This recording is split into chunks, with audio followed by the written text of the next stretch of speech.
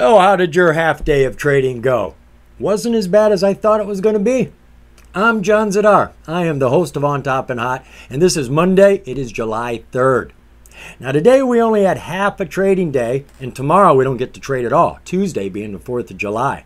Well, I didn't think anybody was going to show up today. No trading yesterday, no trading tomorrow. Eh, well, I'm glad I got out of bed. There was a lot more activity on the penny markets than I was expecting. And that's what I shop the penny markets, OTC, and all the other markets for stocks under five bucks. I'm looking for stocks that have potential to make me some money and you some money. Now, when I go looking for hot stocks, I don't play around with the filings and the press releases until I find a chart that has heat. I'm looking for charts that are ready to break out or have a lot of volume coming in. There's some telltale sign that says I'm probably going to pop. Well, when I see that, when I hear that coming from the chart, then I go rummaging around through all of the filings and the press releases looking for the catalyst. When I find them, those are going to be the sort of stocks I play. Those are going to be the sort of stocks I share with you. And I got three of those for us right now. First one we're going to take a look at is Rimrock Gold Corp, ticker RMRK. I'm loving the chart. She's already broke out. She's well over that 200. She started running on the 20th, went through the 200, and she's been climbing ever since. She's had a lot of news change of operation, change of name, and money's going to be coming in. So it's exciting right now. RMRK, she finished today at a brilliant buy price, 0011. Basically, all it has to do is get to 002, and you've made 100% gains. That is a very small move. Get to three, you've tripled your money. Four, quadrupled your money. Why wait to buy in at 004 and have to go all the way to 0.016 to quadruple your money? Isn't it better to get it at this price? If you've done your due diligence, just because it's a good price doesn't mean it's a good time to buy in. But right now, I think it is. We got a gain of over 22% today. She's on the pink tier. She's current. She's got that verified profile and transfer agent I'm telling you to always look for. Lots of important information in there, especially with a pink.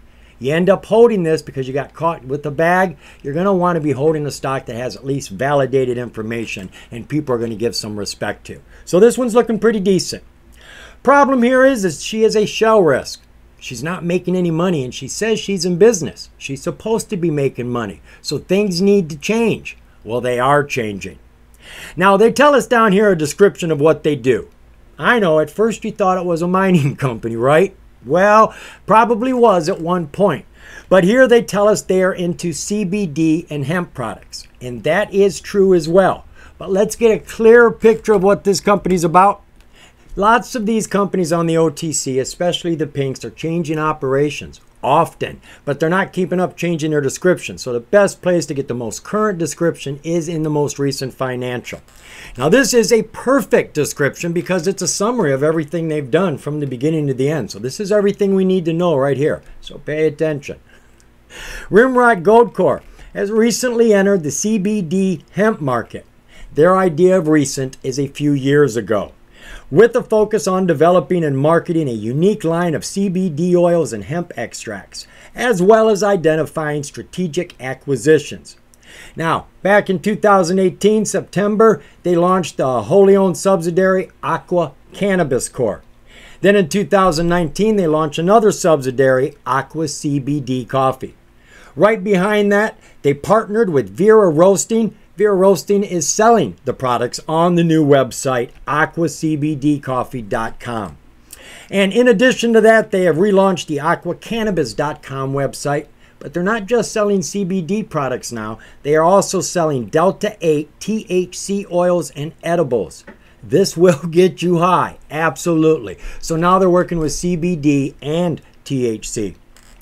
Then here, April 28, 2021, Rimrock Gold entered into the nicotinamide monoclonidase market with the introduction of a new brand, Astound NMN. Now, we don't need to learn too much about it because it was just about a year later they took it and they sold it to Branded Legacy. Then they made another deal just here in December. The company signed a definitive agreement to acquire 100% interest in Blue Nutric The company is currently working on completing the transaction and expects the transaction to close on or before June 30th. Well, that's come and gone. What happened? Well, they had an update news press come out on that day. They tell us here that the company announced the signing of a definitive agreement to acquire 100% interest in Blue Nutric Group. Blue Nutric is an eco friendly and groundbreaking company servicing the algae farming and nutraceutical industry. Now, this is such a big deal to the company that they're changing their name to Blue Nutric. Blue Nutric has got a lot of different things that they're working on. They have developed some fertilizers in the form of new probiotics for the agricultural sector. These new probiotics will have the ability to increase the speed at which agricultural commodities grow. It makes your plants grow faster. We're going to get food faster. They also go on to tell us that they've developed new disease resistant plants and algae for food, feed, and biofuel. And they're backing this up with 180 papers that have been published and seven patents. They tell us here that algae is fast emerging to be the most promising, long term, sustainable, as well as highly eco friendly source of biomass, oils for food, feed, fuel, and other co byproducts. Blue Nutric aims to tap into this market Upon production commencement, forecasted five year revenue aim is to reach $120 million, with $100 million coming from the omega oil sales and 20 million coming from the protein biomass sales. So, they've got a new company working with algae and a lot of different products. We're going to have to do some more research there. Still working with CBD and now working with THC as well. So they've got a lot happening, and the revenues are going to start coming in more and more. Speaking of coming in more and more, what was the relative volume around the company today?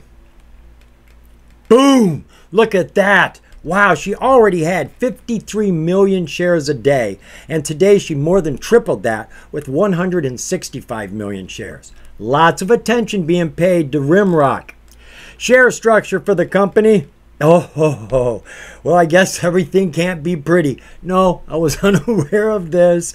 Outstanding share count is at 2.8 billion shares. Looks like our float is probably 2.5 billion shares. It's ultra high.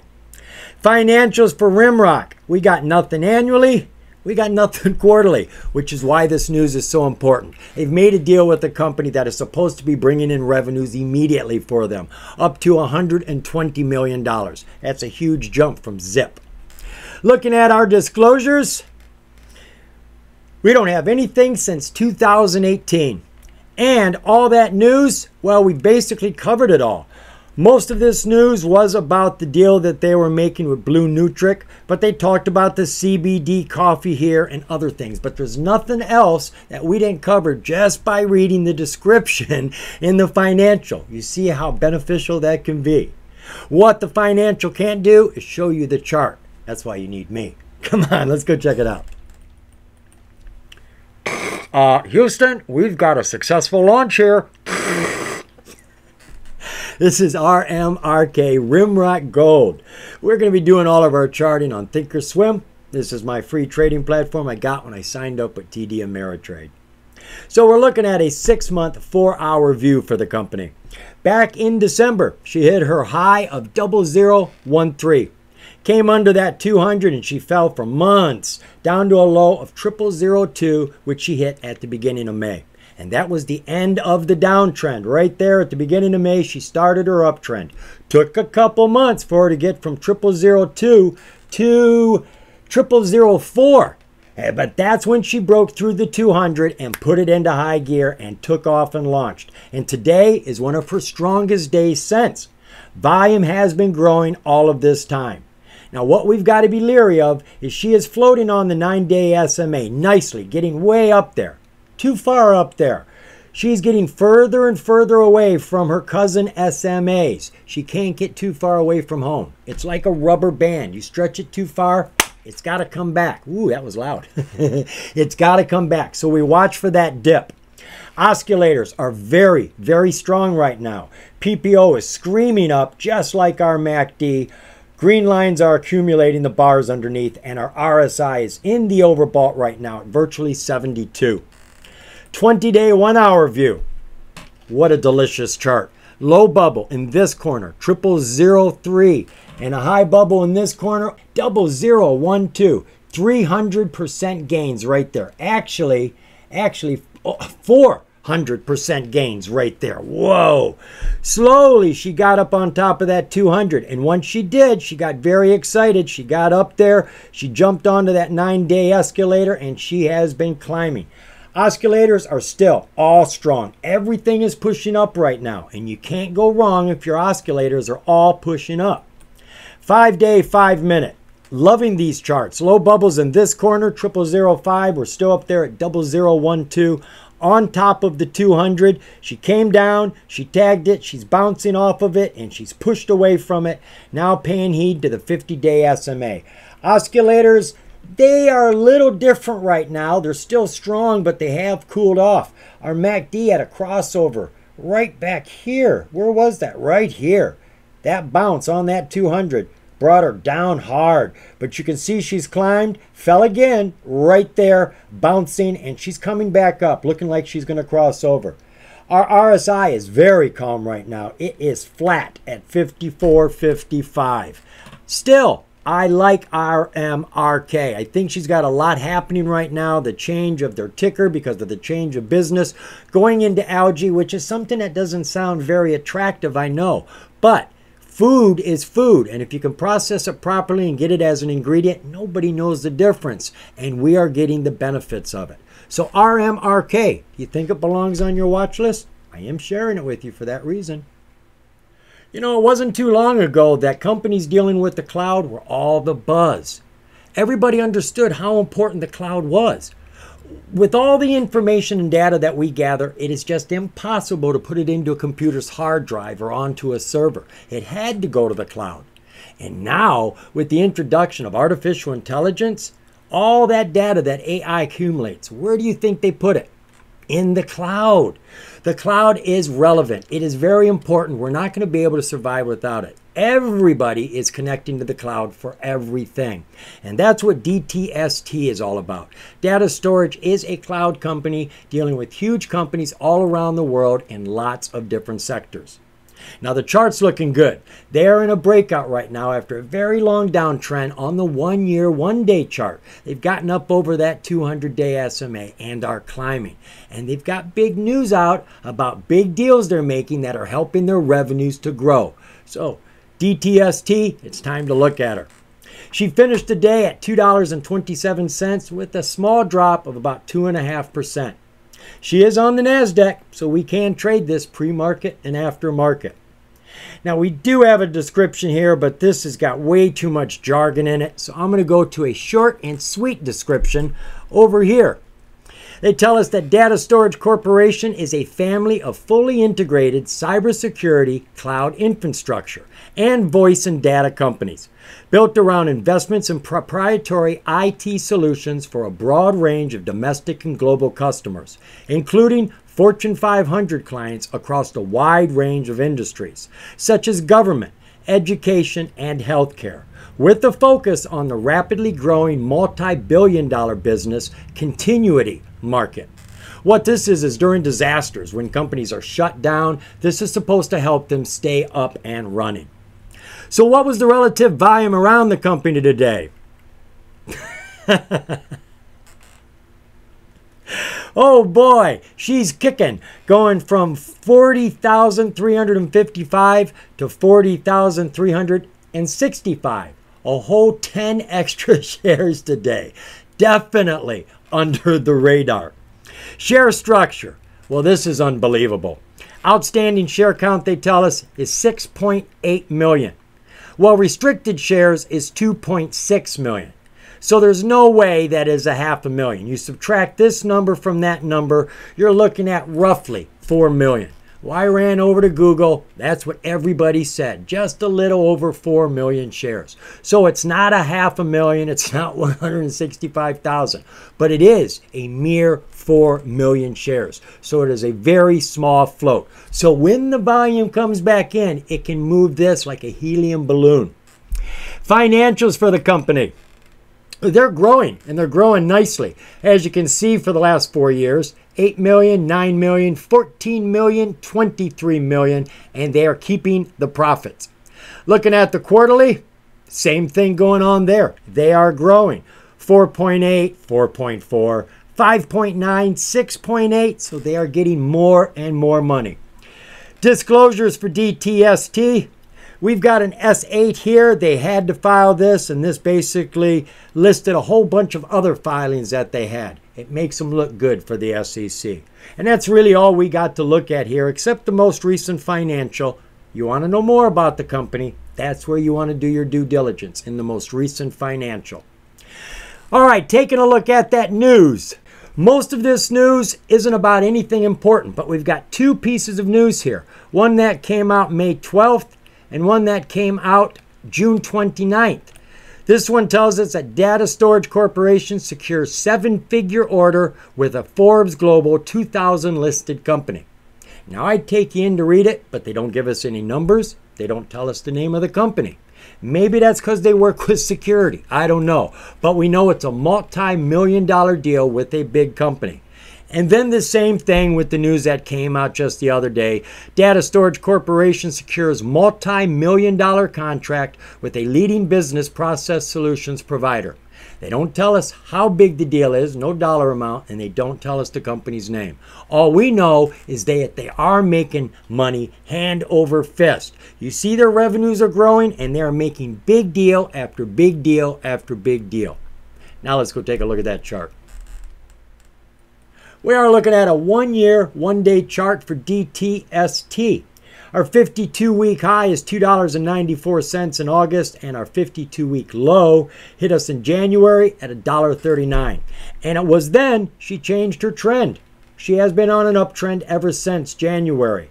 Now she's been bouncing off of this 200 day Hull, working her way across the 200 day SMA. Now we don't talk too much about the 200 day Hull. I like this, but a lot of people don't use it. What it is, is it's 200 days of prices averaged together, just like the 200 day SMA. But the Hull puts more credence on current prices. So you end up with a line that's closer. And as you can see, the price does respect that SMA as well. Jumping down to our six month, four hour view. So there's our low bubble. She went straight to the 200 from there. She's been meandering around the 200 and now she's taken off and pushing away. She's even pushed away from her 50 and she is getting rather high. She's getting up there. So she's either going to have to go sideways for a while, waiting for that 20 day SMA to catch up, maybe even the 50 day SMA, or it's probably going to come down. So we got to keep our eye on that. Oscillators show exactly that. She is making a decision right now. Am I going to stay here and go sideways or am I going to fall? Volume is getting stronger right now. Today was less than the days before, but you can see it is building up. Coming down to our 20 day, one hour view.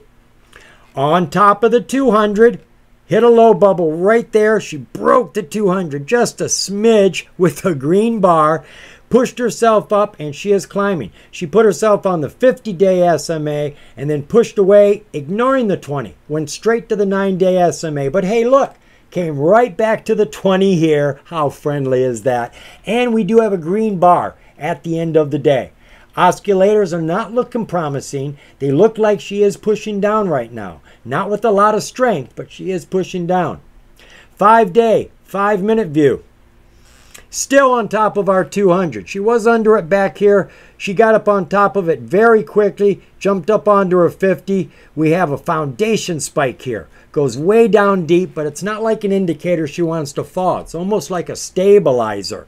Put it into the ground, came back up, and started to climb. And she's paying heed to our 50 day SMA up here. She's under it right now, but it looks like she's trying to get back on top. Our oscillators finally agree with me. They are in recovery right now. They are all turning up as if they're going to get back on that 50 and continue her steady up climb. This is not a runner. She's not surging. She's just growing since January. Nothing wrong with that. DTST. She's not going to make you rich in a day, but she could put money in your pocket over the next few days.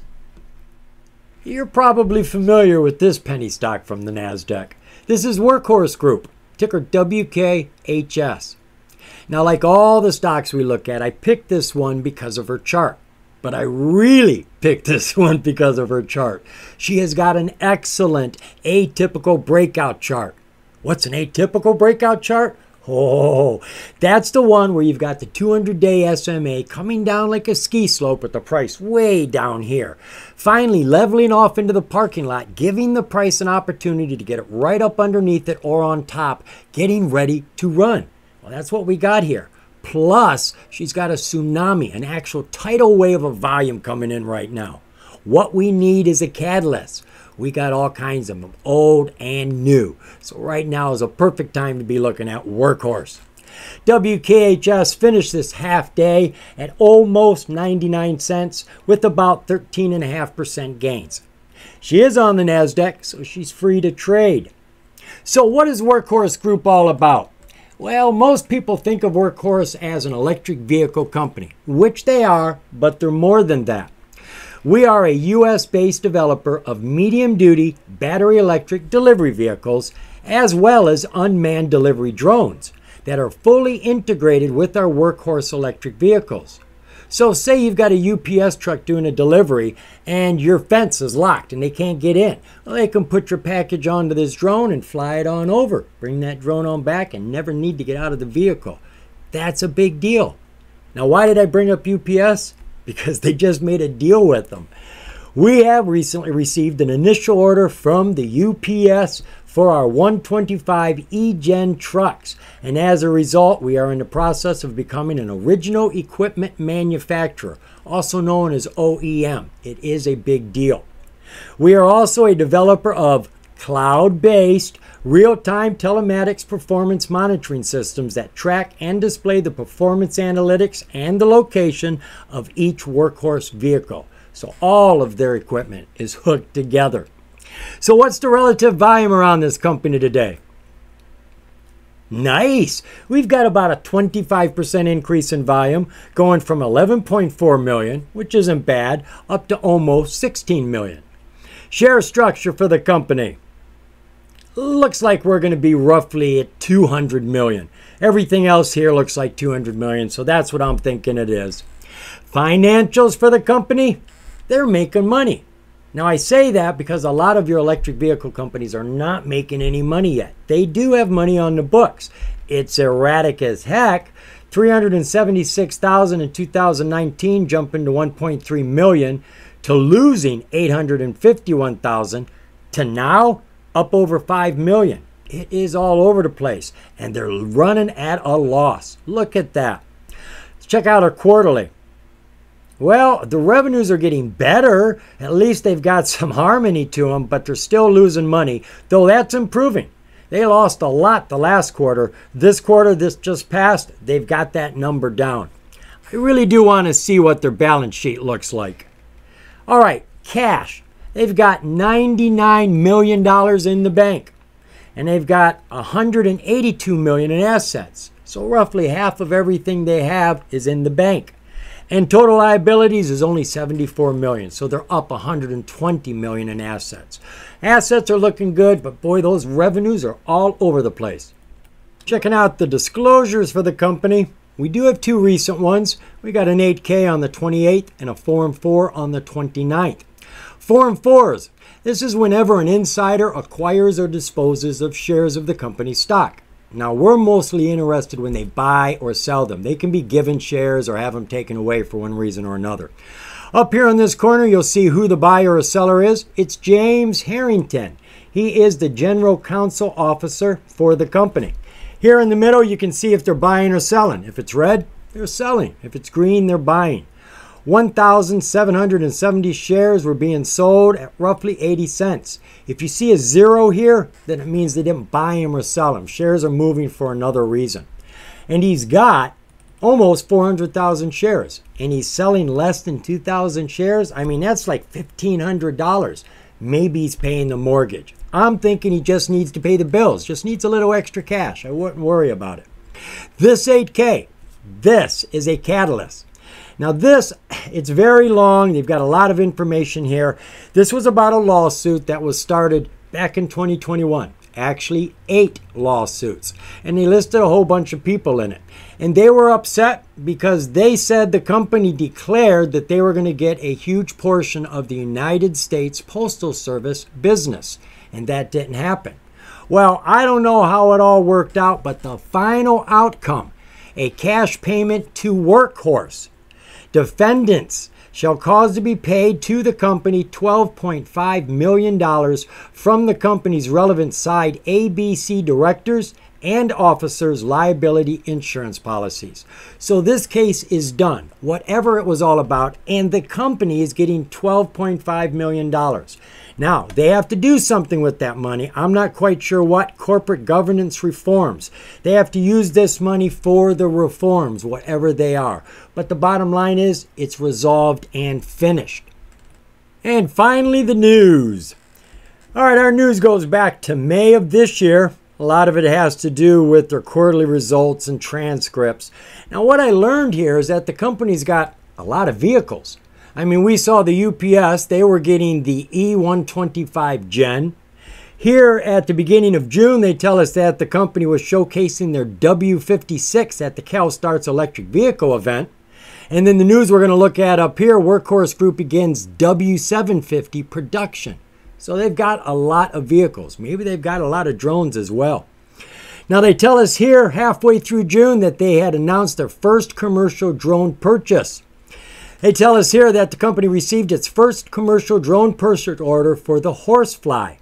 The company received purchase orders for two commercial drones, including one from Valqari, a Chicago based smart mailbox company with an international exposure that works with companies, governments, and other organizations to shape the future of drone delivery. In other words, they think this company might be able to open up doors for them. The other piece of news, that one came out on the 27th. They tell us here the company announced it has started production of the W750 at its manufacturing facility in Union City, Indiana. The company also announced it has entered into a partnership with Smyrna Truck to be its first certified electric vehicle dealer in Georgia. So they've got a factory, they've got a dealership, they've got multiple vehicles, they've got drones and they got the cloud. The company is really doing a lot and they just need to get their footing and they're going to start running hard. But besides all that, the chart is ready to run hard right now and she's got enough good news to get it going. Let me show you what I'm talking about. You darn tootin', that's a hot chart. That is WKHS, Workhorse Group. This is a six month, four hour view. We got a high bubble in November of $2.98, a very hard, long, drawn out fall to 71 cents about five days ago. But there is no doubt that that volume is growing. It has become a tsunami, an actual tidal wave of volume that is pushing this price. And we are well positioned right now. She got up from underneath everything, jumped onto that 200, fell fast and hard down to this low, and now she's turning around on top over 200. It's a perfect setup. Now, ideally, what we're looking for is for this 50 day SMA to turn around and start crossing the 200. That's a golden cross, one of the strongest technicals on the chart. So much so, people search for it with their scans because they want to play them. This is looking like a beautiful setup. Oscillators, all of them are pushing up right now. RSI is on fire. This looks outstanding right now. 20 day, one hour view. Well, we're on top of the 200 here with a high of $1.24. She came down to that low. She's back up on top of the 200, floating on her nine day SMA. Here comes our 50 day SMA right up underneath the 200. This is going to be a perfect setup for power. And look at our oscillators. Everything is shooting to the moon, and we are still on fire with our RSI. Five day, five minute. Oh, goodness. All right, she looked bad a few days ago, but she was really just hanging on to the 200 until she didn't want to stay there anymore, and then she launched. She is now giving all respect to the 50 day SMA. You can see she's riding that. She comes underneath that, that's when you start to get concerned. She was way up here. She went sideways, waiting for the 50 day SMA to catch up. Everything is still looking like she is on track to climb. She's on the 50 right now. we would expect a bounce. That's what she's been doing all the way along. So that's what we're going to count on. Oscillators, they're a little weak right now, but they're not bad. Everything has been going sideways for a while, and we had one red bar here at the end of the day. But I'm liking WKHS. She's looking great on the long chart. She's got lots of little catalysts, big catalysts. Everything is working out for this company. Revenues, I wouldn't worry too much about those right now. Lots of people are watching it for a reason. Grab onto their shirt tails and let's go for a ride. So we got a variety of charts with the stocks we looked at today.